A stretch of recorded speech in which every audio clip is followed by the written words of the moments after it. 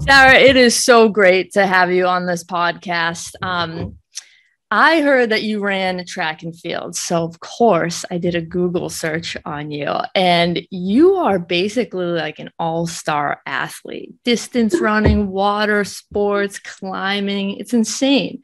What's probably like your favorite? Oh, you're going to have to go a favorite in the moment, you know, because there's sports are amazing. I mean, they're just, I feel like they're a part of my being. And, you know, something happened and, you know, you always have that fear of like, what if it got taken away from me? What if I got paralyzed or what if? And I'm just like, no, I'd find another sport, you know, I'd take up whitewater kayaking or I'd find something, you know? so I feel like safe in that, that you can switch gears. Uh, but I think climbing is probably, I mean, it's the most mental sport I've ever done the most mentally challenging, the most facing fear, the most like, I am absolutely terrified and I have to literally talk myself off a literal ledge, you know? and so I feel like that carries over so much into real life when you're facing situations where they make you nervous, they make you uncomfortable.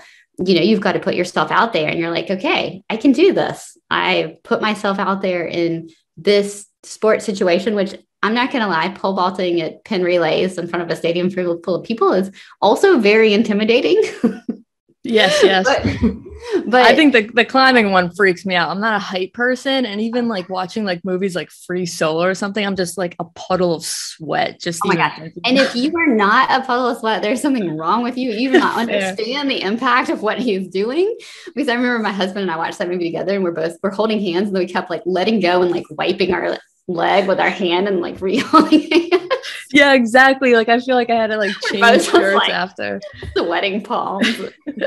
so I worked at Northeastern University uh, for quite some time, and you know, especially as a collegiate level athlete, I feel like we go through the same things. I think I had a few experiences where coaches kind of made me lose the love of a sport.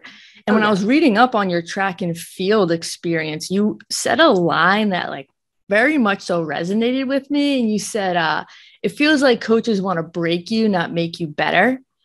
And well, they have a limited time with you, right? They're going to get yeah. everything they can out of your body. And I, it's, you know, to find a coach that actually really cares about sustainability of your health. I mean, I was in the training room the whole time I competed at Clemson, you know? Yeah, so exactly. and I just, I just put it to like the analogy of like a lot of coaches I've had experiences with, like dealt with you like magnets and they just threw you on like a fridge and were like, who's gonna stick and make it through like this season? And who's gonna drop out because the overtraining level is yes. real. And then you look at, you know, your your past your sports, you look at you compare yourself to what professional athletes are doing, which I consider those the people that made it through collegiate level with more resilience than somebody like me had. you know, where I just was so broken down that this was not a good process for me. But you look at the professional athletes, and they're the ones whose bodies can withstand the overtraining. Yep. And you cannot, I mean, they're, they're just, it's unhealthy workouts for most, you know, 99% of people. Yes. The answer, if something wasn't working, was always the word more. That's it. And you think about it in the CrossFit arena too. You've got your essentially professional CrossFit athletes Mm-hmm. And then you've got your, you know, normal people at the gym trying to compete at the same level or do the same workouts. And, you know, it's just across the board, I think it can be hard for us to compare. Yeah, I uh, I have this analogy with like CrossFit as the same as football, the sport of football. It's like you have your pro level United States league, then you have your Canadian league where it's like, yeah, you're not so good, but you think like you can train just as hard and whatnot. And then you have like your flag football rec league and the certain skills like flag football doesn't need to know how to tackle. Like that skill doesn't apply to that sport, mm-hmm. but yet it's almost like rec league football where they're learning how to tackle kind of a thing. And, and it's like this mismatch of like levels and intensity. And especially these high level athletes, they're just freaks. So it's kind of different for them. Yeah. So yeah. So I probably really overwhelmed you when I initially asked you to be on this podcast because I just like brain dumped. I, I, listened to a ton of podcasts you were on, and I just like brain dumped you in an email. And I basically asked you to give like a weekend seminar. You did. You did. You were like, "Will you just teach this course for this podcast?" and it was pure selfish. I was like, "How much can I get out of her in like 35 minutes? I just want to know everything." But uh, we're, yeah, gonna try to break we'll this down and do our best. Yeah. yes. Yes. So we are very like practical application here. Um, I love theory, but I really want to kind of get into the, the details a little bit. So, who are typically the individuals who come to work with you, and what are some of the issues that they're dealing with? Um, so, typically, I seem to attract A type people. I know that might not be relevant, but it just seems to be just a little bit more drawn to me. So, you're going to have a more higher intensity level, generally exercise, personality um, go getter type person. And then I have had a very mildly robust orthopedic career um, with working with back pain and hip pain and shoulder pain and neck pain, and then switching into women's health after I had my first child uh, because I had issues that I couldn't get easily resolved um, with local pelvic floor PT. So I felt like, okay, I needed to dive in and learn more um, because the standard of treatment wasn't wasn't fixing me. And, but I knew there was a fix. I was like, this is, I don't, I'm not a settling type person. Um, just a personality type, I guess. And, you know, it's, so I dove in and learned as much as I could. And I felt like that, you know, was about a decade ago and almost, and it was, it was a little bit new in the world, like bringing together the ortho aspect into pelvic floor PT back then. Um, was new and, and interesting. And now there's so many integrated things. Like it's just normal. You know, it's normal to talk about 360 breathing. It's normal to talk about hip function and the pelvic floor, but back then it was not. And mm-hmm. so it's been really cool seeing the transition within women's health to more of a joining of ortho and women's health. So I think that's that's pretty cool. That is. So I, I know that's like your kind of niche or the most uh, most people who come to work with you, but are there any like males and specific issues related to that who come to work with you? I've seen a lot of males with piriformis pain, labral okay. tears, uh, diastasis, um, hernias, things like that. Okay, fair enough. All right, so now I want to kind of dive into decision making. So, mm-hmm. can you just take me through um, what do you think about an assessment um, and how that leads into considerations for treatment and you know exercises you might give someone? Absolutely. So this was kind of a big, overwhelming question. if you say, like, okay, tell me about somebody who comes in to see you to help with leaking, like that is going to be basically the same process, same assessment process I'm going to take somebody through who comes in to see me for back pain or knee pain, you know, to some degree.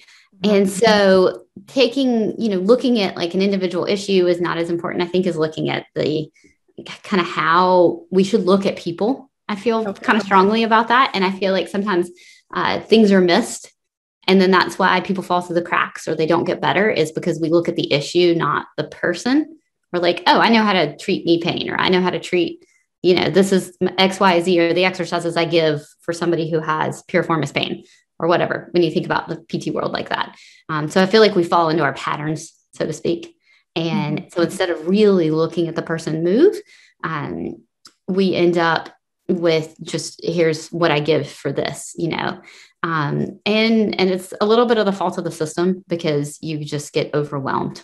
Uh, you know, I mean, if you're a PT and you're treating, you know, eight hours of patients a day, and you have to do paperwork on top of that, and I mean, it's just it can be crazy because sometimes they'll schedule in back to back like 30 minute patients or two patients at once. And it's just like, how do you work mm-hmm. in the system? Okay, that's a side note.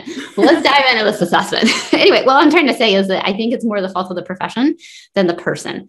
So, with saying that, I don't want to say that people, it's not something that purposely happens, I feel like, because I feel like you don't become a PT because you don't care and you don't want to help people and you don't want to do your best. So, yeah, we, we all do the yeah we all do the best we can until we know yeah. better and and sometimes logistics um if yes. even for a client right they don't have a certain type of equipment you're not gonna just you know throw your hands up in the air you got to work with what they have and they're working full time and they have four kids and they're they're now taking care of an aging parent. I mean, you're just yeah. what you're going to be what they're going to be able to take on. It's it's going to be this huge feat for like getting in two exercises every three days versus you know somebody who has a lot more time. Yeah, fair um, enough. Okay, so um, us looking at assessment. So the first thing that I love to do is watch the person walk in. So I love to see them waiting in the waiting room, so to speak. All right. So are they stiff? Are they guarded? How do they get up from their chair in the waiting area? Because as soon as they know you're looking at them, it's all out the window. They're they're trying hard. They're moving different. So getting that like sneaky look at somebody. I mean, even on like look out the window. Like how did they get out of the car? How did they walk across the parking lot? If I'm able to do that. Um, I think that can be really fun. How do they bend over to pick up their purse from the floor when you're like, hey, come on back?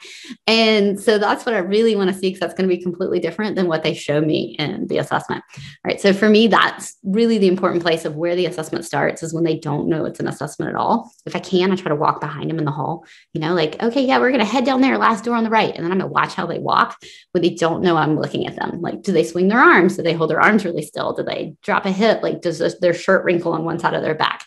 So that goes ahead and gives you clues of how their body is moving in space and how they're controlling that movement without thinking about it, which I feel like is so important. Uh, and then I really like the subjective part of the exam. So just sitting down and talking to them. Um, what makes this issue feel worse? What makes it feel better? When did it start? You know, how does it come and go?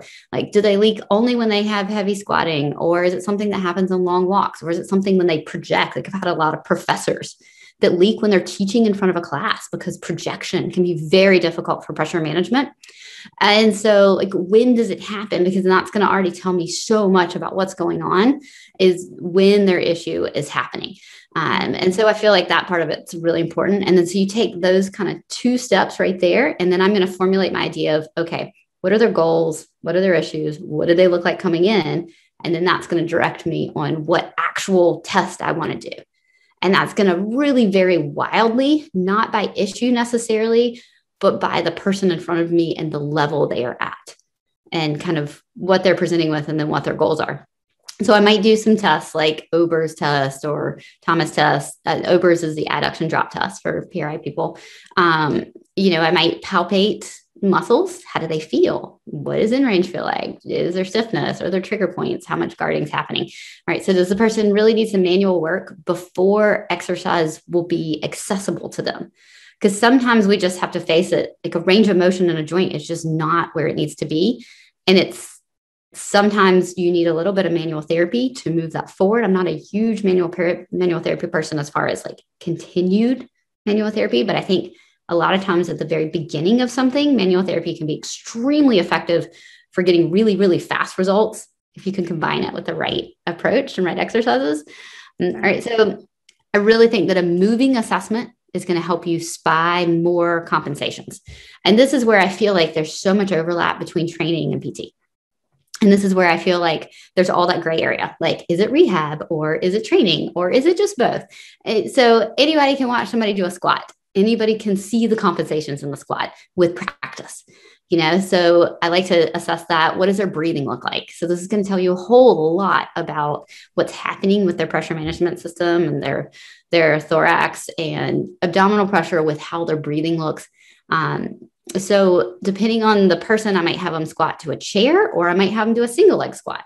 You know, if I'm assessing a runner for leaking versus somebody who's like, I haven't worked out in 10 years and I'm a professor that leaks when I project to a room, I'm not going to do a single leg squat. That's not going to tell me anything for the level that they're at right there that I need to know. Like obviously the single leg squat's probably going to look terrible. So when I assess that, you know? Um, so it's not so much that my assessment is based on the issue is it's based on the person. So when you look at when you asked me for an example of a specific thing i was like i, I can't do that. I need to know more about the person like what where is this person for this issue? Um so let's see. Um what else? So i like to pick an active movement that fits their complaints. So are they having trouble deadlifting. I want to see their hip hinge. Um, are they at the level where they pick up all the toys after their kids are playing and they have back pain after that? I still want to see their hip hinge. So, you know, one's loaded, one's not, but we're still going to see how they bend over repeatedly over time, you know, looking for those obvious things like hip shifts and pressure management and how their abdominal wall is firing. Um, and then what's their pain point that they come in with? So, like the leaking, the hip pain, the back pain. Uh, and it's not always something I'm going to work directly on. All right. So, fix so many things where you find the movement strategy issue to clean up, and then it fixes the issue. So, in some ways, it's like, yes, we want to focus on the issue, but then in a lot of other ways, we really don't want to focus on the issue at all. And I feel like Shirley Sahrmann was really the groundbreaking physical therapist for this where she has a great textbook called Movement Impairment Syndromes, which came out after I was in PT school. So I didn't get it in PT school, but I know a lot of people have that graduated after me. Um, but absolutely amazing textbook. But I really feel like she was one of those founding PTs for let's just look at how people move instead of focusing on where their pain is. You know, we did this with like patella tracking. So you remember people used to have patella dislocations and they're like, let's strengthen the VMO. I learned to strengthen the VMO when I was in school. Oh, so many things to have a have a good springboard for and then move forward on. so yeah, so I looked at, you know, patella, something simple like patella tracking, where when I was in school, it was all VMO focused. How do you strengthen the VMO? You know, and then, you know, a MRI looking at a squat with somebody who had lateral patella tracking goes, oh, wait a minute.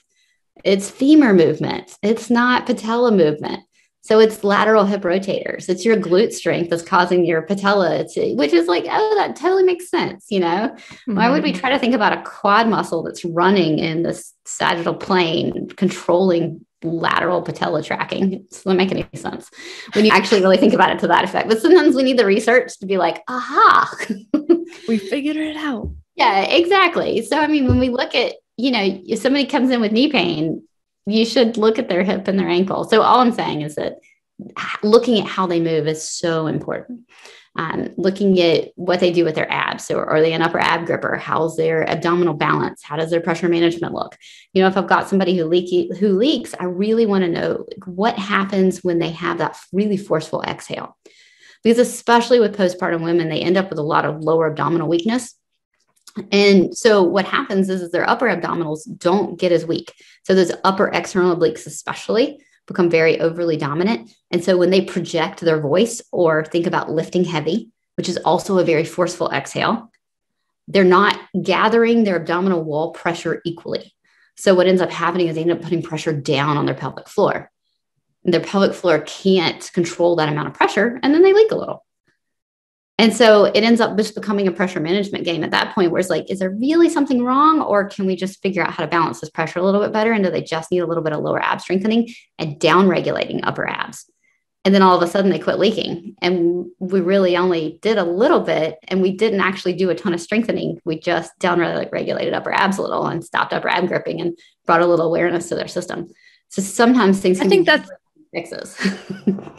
Yeah. I think that's a big paradigm shift of down regulating. Because again, going back to that more and more, every answer is kind of a strengthening, you know, question of like, hey, what can we strengthen?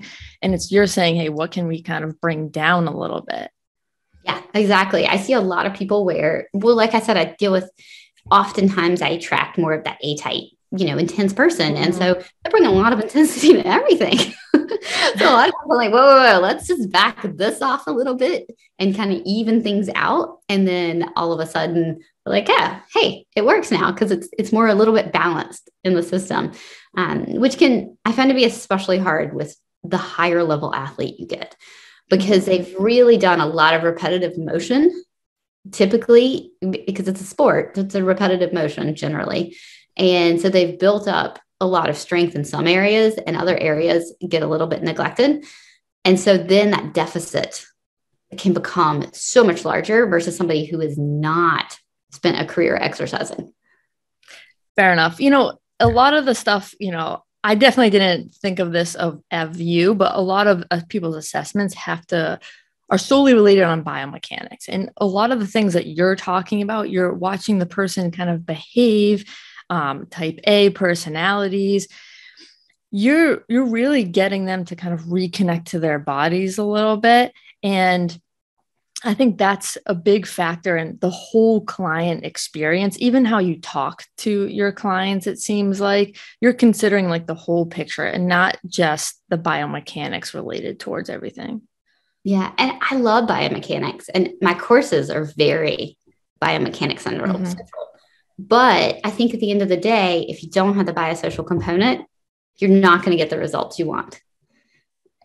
But you know, likewise, I don't think everything's biosocial. so yes, yes, I do think there are very specific things that we can look at and change. Which, if you're fully in the biosocial model, you don't really believe that. You just believe everything is you know magical, and you can help the person believe, and it all works. But you know, I think that that when we bring both of them together really well, like a highly trained biomechanical person that knows specifics to look for, and you can get really, really fast results. Um, but if you're a biomechanical person and you scare somebody, and then they have come in with SI joint pain and then they never move or bend over again, even though you know the right things to give them, you get them in such a fear state that they can't overcome it. They're not going to get any better. So Absolutely. that kind of hard, you know, hard line biomechanics also doesn't work. So yeah, absolutely. Anyway, yeah. So so with that assessment, I mean, you look at something like a squat, and if they're falling through the middle portion of their squat and then kind of catching themselves, having to really hinge way forward, things like that, you know they probably don't have internal rotation because you've got to mm-hmm. access internal rotation to get down through the squat. And so there's little things like that where you just watch somebody move and you've already got so many clues as to what's going on with their body. Can they hinge and disassociate the sacrum from the pelvis? You know, can they get sacral nutation? and a lot of these moms that I see that have a lot of tailbone pain and posterior pelvic tightness, they can't unstick their sacrum. So that the whole system is just coming forward. And then it's like, oh, well, no wonder you're having pain. You know, no wonder your SI is bugging you or your piriformis or your low back. You're not, you know, things aren't getting as much movement as they need. Um, and what are some things that you help like to I, I kind of give the analogy when people are pushed forward, we'll do a lot of exercises that kind of push them back. Yeah, if they need to be pushed back, then absolutely. And helping to kind of unstick that area, which I really like eccentrics a lot. Okay. Um, I feel like eccentrics help us unwind, they help us let go, they help give us space, they help give us, you know, length. And so I think eccentrics can be really good in more of that rehab setting where you're helping things open because I feel like in life we do a lot of concentric and we don't do that nice slow unwinding. Um, so let's. Well, what would be like a specific exercise for that eccentric component that you like? Yeah, so maybe let's say let's take somebody kind of high level. Um, let's say a runner who has a little bit of maybe their sacrum's kind of trending over to the right, and they've got some right-sided posterior tightness. Um, mm they've got a little bit of leaking because of it, because as soon as that hip gets shoved forward in the socket, those deep hip rotators are super tight. Um, it's going to affect the alignment and the ability of the pelvic floor to contract. And so maybe they're having that issue kind of all together. I might do something like a single leg where they stand on the right leg, so hip hinge, and then have them pull down so kind of eccentrically pull down and have them sh- do some hip shifts where they're coming up and down, where they're kind of sucking up on the left and then pulling down on the right. So they're opening that back area. So it's almost like you would take like an iliacus pullback um, from the PRI, like that adductor side lying pullback, but then you yep. do it in standing with a little bit of hamstring drag, maybe on the like floor or the wall and then that can create that shifting through the pelvis. And then sometimes that can really open and unlock that area. Maybe even have them hold and do some big inhales into that area mm. you know? And then you can take that and then use it after like have them um, so once you get it open then you can have them maybe do a single leg squat or like a split squat but where their back leg is close. So it's mostly a single leg squat like have them shift most of their weight in their front leg and then hold, have them hold ipsilateral to help drive more of that internal rotation um, and then help them kind of own that new opening that they're getting. Yes, yes, that's a great yeah. example. Okay, awesome. Okay, we're getting into some specifics. Um, yeah, so it's it's kind of like that. You know, you can even do things like a cat cow. That's a really good lower level exercise, and you can see maybe where their spine isn't moving so well. Check for that stiffness. You know, I mean, if they can't extend their thoracic spine or they can't flex their lumbar spine, you know that that's going to be a big big issue for them if they can't get any flexion in their lumbar spine and they're stuck in lumbar extension yeah mm. yeah and a, a, toe touch is a, is a great way to do that as well yeah absolutely toe touch is a great way to do that um, if somebody's got guarding though if they've got back pain then toe touch like for my for what i do in the pt world like sometimes yeah. the toe touch can be um, kind of hard. And if somebody's guarded when they walk in, I'm going to be really careful with the things they feel a threat response. So if they have pain bending forward, you know, I might be a little bit careful in that first session to maybe kind of look at all things around that. But in more of a training area, then that would be awesome to yes. yeah, pull that in. If, if someone's coming in and you know they're they're scared about bending over, they're probably seeing you first before they come to come to see yeah. you. Yeah. Yeah, exactly. So I kind of like to look at it as quality of movement perspective versus a diagnostic issue. Like, so I'm going to watch a move, I'm going to see what I can clean up, and then I'm going to go from there. And what does that give me? You know, what results did that produce? And I just feel like that's a nice way to kind of take a patient more on a traveling a path versus like, I'm going to give you this and this is going to fix you. It's like, no, we're going to peel back this layer and then we're going to see what you have left. And what I get is a lot of times I'll see women for pelvic floor issues and they'll be like, oh, my knee pain went away when I was hiking. I didn't even know that was going to happen. And I'm like, well, the, we're approaching this more from a just a watching you move and improving the quality of your motion. So then it's going to help, you know, the things that are down the list. Like I, I have this, I wrote a blog article so you might have read it, but I had this one man who I was seeing him for a labral tear and hip pain. And so we worked on his hip pain and that was fine. We fixed that. And then we um, could not get rid of his diastasis. And it was so frustrating for me because I worked on his breathing, I worked on his rib cage, I did all this stuff. I was like, why is this not working? And finally, I was like, let me watch you walk again for like the fifth time. And, and when I saw him walk for that last time, I mean, we'd worked on arm swing, we'd literally worked on like you name it. and I was at the end of my, you know, rope for figuring things out. And I was watching him walk, specifically looking at his feet, and he was almost throwing himself forward. So he could not, he did not have the arch strength to initiate a calf raise or a push off from his foot. And so he was going straight into his calves.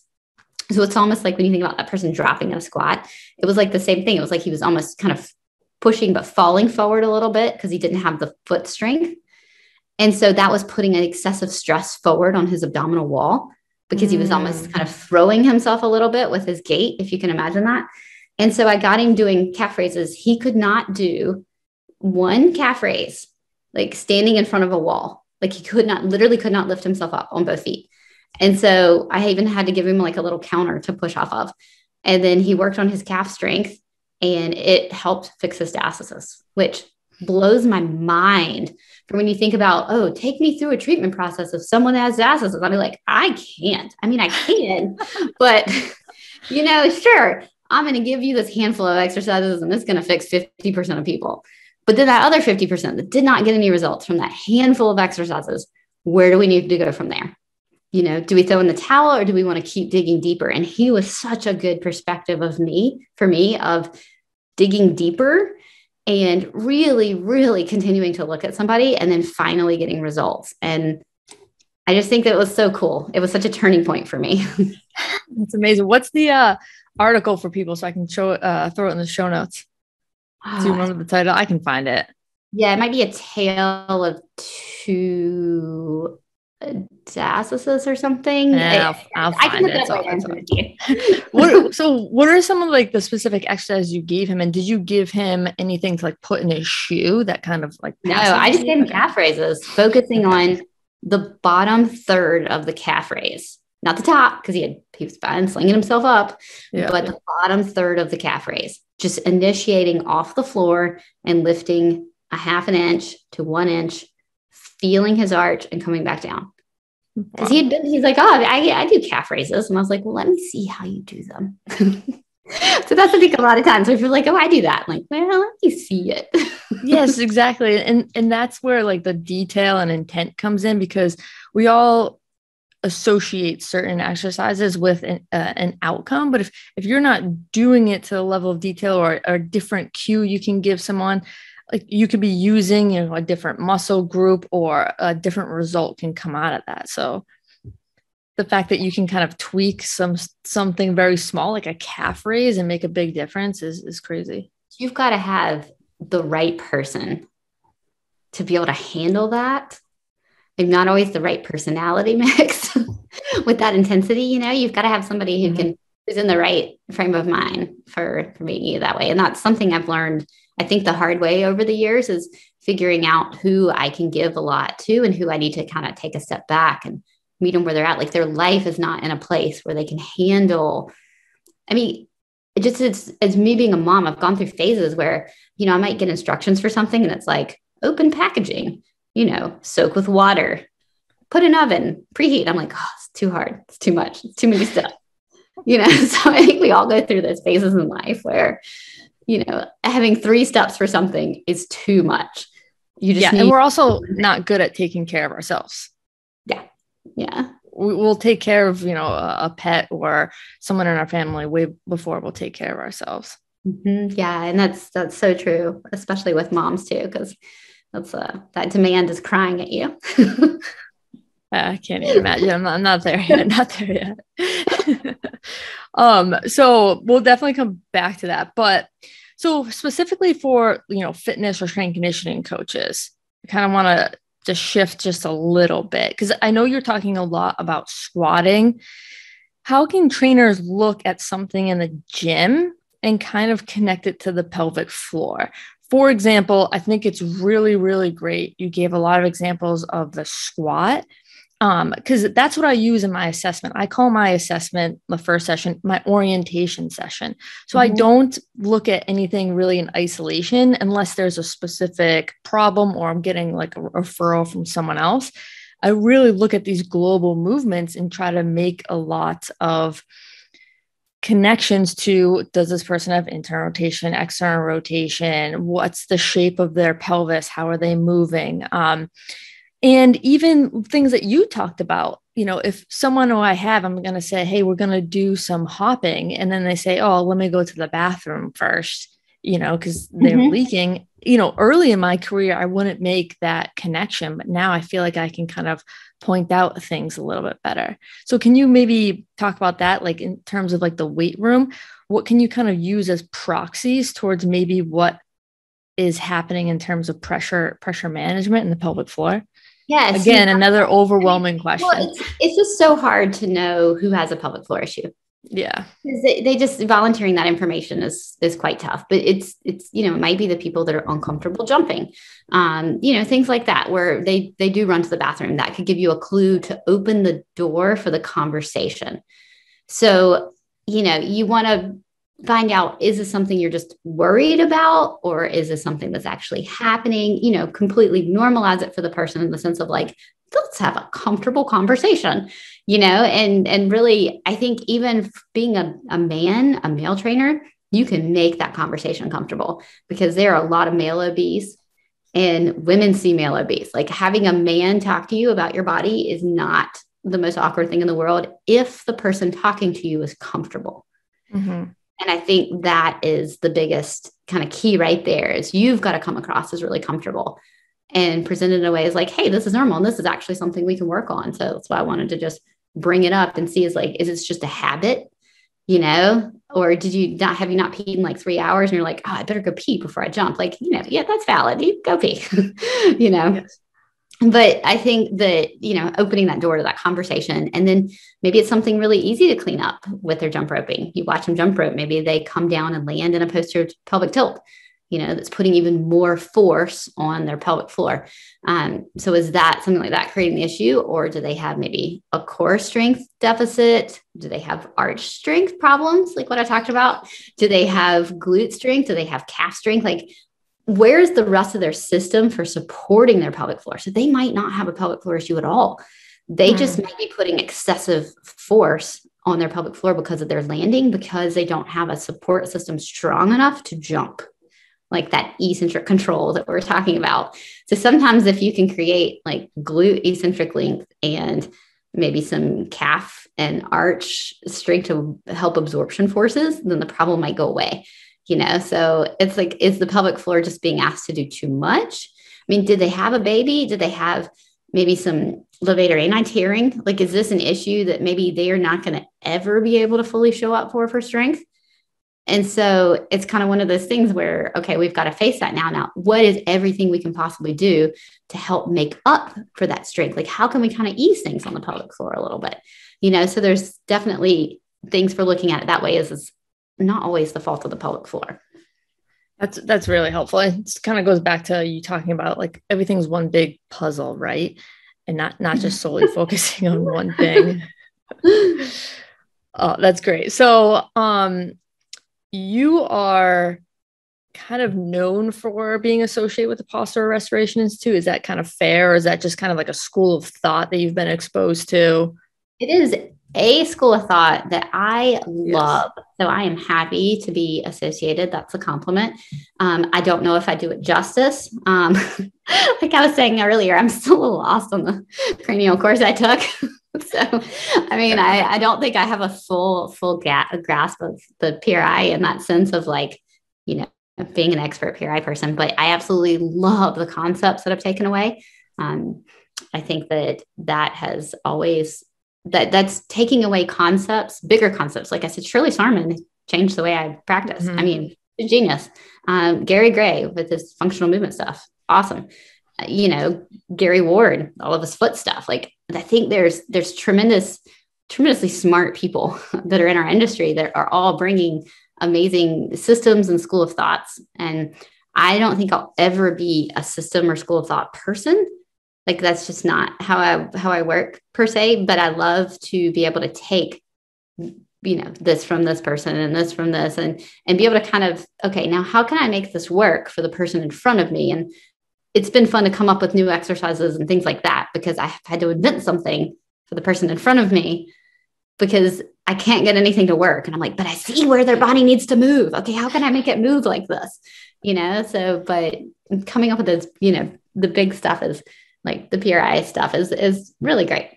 Yeah, Tim and I have done a few podcasts, basically like giving our, our gratitude towards how that school of thought and the courses have really kind of changed some of the things that we uh, think and um, expose us to a new type of information or um, just like different ideas on how to like view things. And so just you don't have to say like anything in regards to the Postural Restoration Institute, but what are maybe some things that you really changed your mind on in the past couple years uh, since you've been exposed to? I know how much information you consume and experience yeah. and knowledge you have. So I think what's interesting is I don't think there was really, I think, you know, I spent a lot of time in the Stu McGill world back when I was treating back pain and ortho, heavy ortho. And I think that the only thing that really, really changed my mind as far as that goes was so much lumbar flexion and finding room for that much lumbar flexion. Like I was never the school of thought like, oh, don't ever flex your lumbar spine. Like I never went that far because I feel like the body needs to move in all different directions. And I've done enough sports where lumbar flexion is a thing for the sport, you know, so the body needs to move in that direction. But I think the degree to which the repetitive nature to which they take lumbar flexion um, is probably something that really hit home for me for helping me make a bigger shift in that direction. Okay. Um, from Stu McGill, who was like, you know, the non-flexion person. Um, and uh, so I think that would that would be probably the main thing. I was already working internal rotation before I ever took a PT class, just a PRI class, just trying to get rid of people's piriformis pain. You know, mm. like I've had a runner pause and press their foot against the wall while squeezing something between their knees to like create that internal rotation leverage to immediately release their piriformis. And then I'd have them go run a quarter of a mile and then come back like on an indoor track like just what can i do to help this person elicit some internal rotation and adduction into their movement to help their deep rotator gripping that's going on?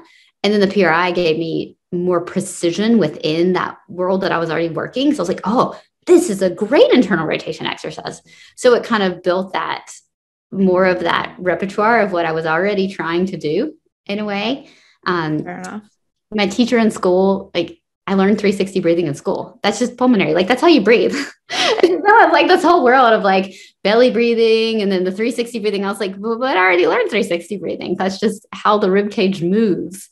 You know, we've got joints in the front and joints in the back. Our rib cage moves up, you know, in this bucket handle fashion. Like that's that's just normal breathing. So I think that depending on kind of where you went to PT school and what was taught and what you remember, like some of that is they hit home in a more emphasized way but a lot of that's just normal and has been around for um, a long time. But their exercises are very precise, which yes. I really like. Very detailed. Yeah. Um, switching gears just a little bit. So you have a really, really big social media presence. Um, how do you balance that with your life? Because obviously, in my view, if you have that large of a social media presence, it's kind of it can be pretty consuming in my perspective. So, you know, how do you balance that? Yeah. So I actually got more offended with, you know, negative comments and things like that in the very beginning when I had a thousand followers than now, um, which I know is so interesting, but it's like now I'm just like, I can't take anything personal because this isn't, it's not personal for people.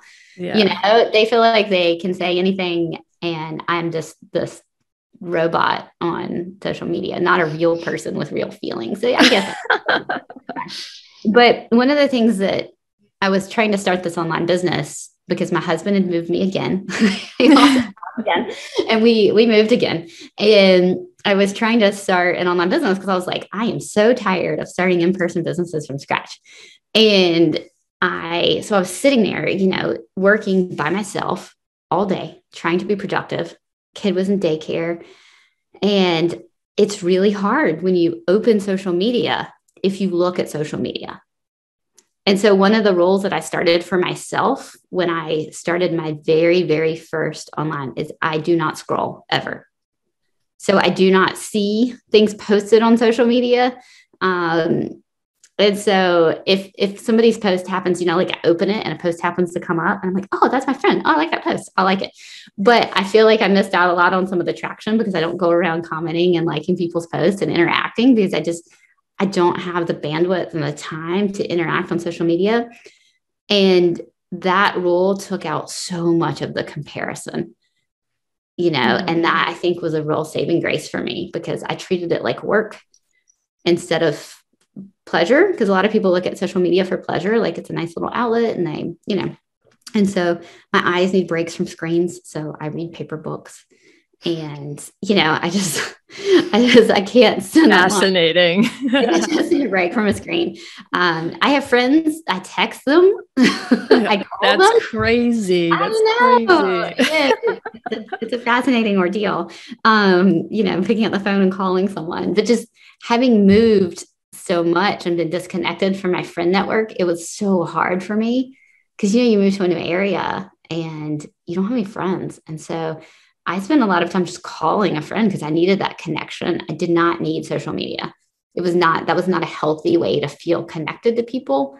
Um, because then you fall into comparison and you see what people are doing, and it's just I don't know was well, that to go. There's a, people place a lot of emotional energy into social media and confuse it with reality in some in some circumstances because you know they're scrolling or they get unfriended or followed by someone and they view that as a connection or self-worth.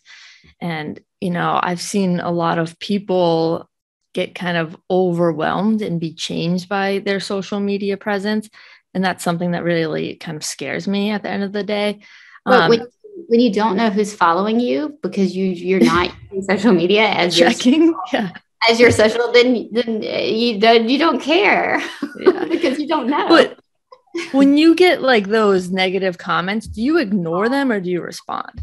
Um, it depends. If it is a comment that is inappropriate, then I will just simply delete it and just decide that person, you know, that they're having a bad day. Like that yeah. was not an appropriate comment. And if they were sitting in the same room as me, they would have never said that. Like they just they weren't thinking, and maybe it's coming across wrong. So I, I all my friends know that I hate it when people take things wrong. I know that's a silly thing to say, but I don't have like I have trouble being around sensitive people because I'll often just say the wrong thing. Like I'm just, you know, I say what comes into my brain and it comes out. And sometimes it, it doesn't always come out worded the right way or the way my heart means it.